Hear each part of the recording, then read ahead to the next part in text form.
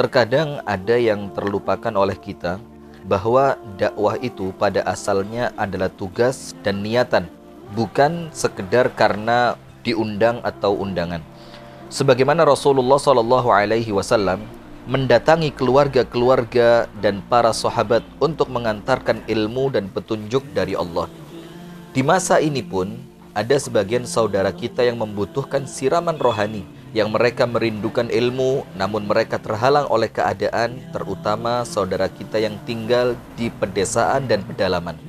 Maka Alhamdulillah malam ini, Masya Allah, bersama orang-orang soleh yang bersemangat mendampingi ingin meraih pahala dakwah yang berlimpah, ada yang menitipkan kepada kami sedekah berupa beberapa ekor kambing, ada yang menitipkan berupa beras, ada yang menitipkan dana dan yang lainnya untuk memeriahkan agenda dakwah di pedalaman semacam ini.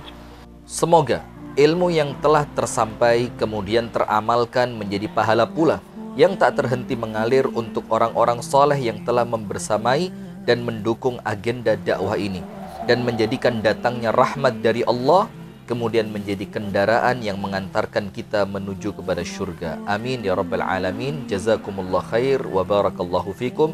Assalamualaikum warahmatullahi wabarakatuh.